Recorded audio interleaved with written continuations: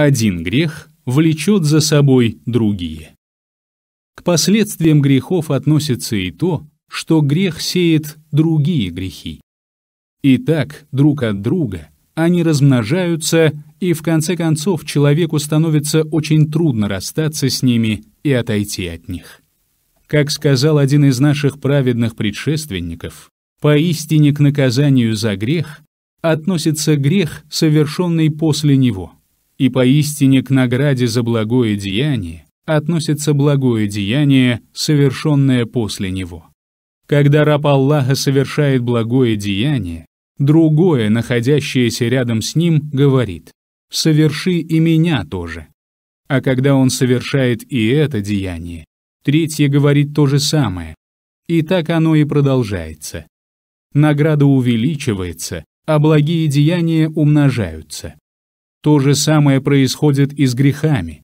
И в конце концов покорность Аллаху либо ослушание Его становится постоянным и неотъемлемым свойством человека.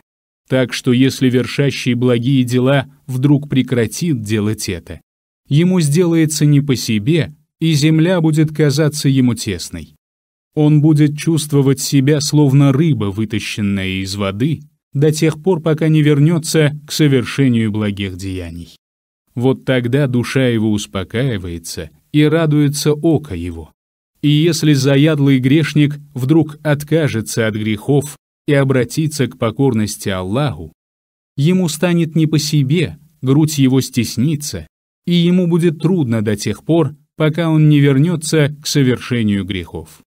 И многие грешники совершают грехи, не испытывая никакого удовольствия и не имея никаких оснований для их совершения, а просто потому, что оставление грехов причиняет им страдания.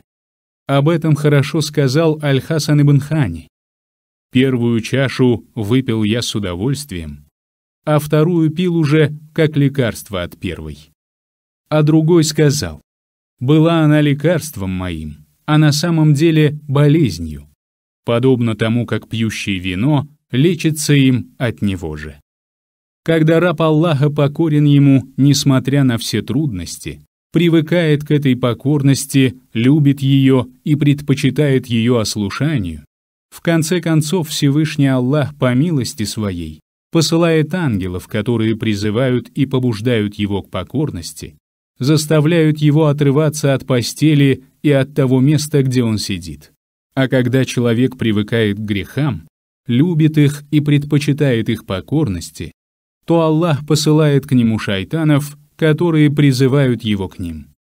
Первый усилил войско покорности с помощью подкрепления, и оно превратилось для него в прекрасных помощников. А второй укрепил войско ослушания с помощью подкрепления, и оно превратилось для него в помощников в грехе.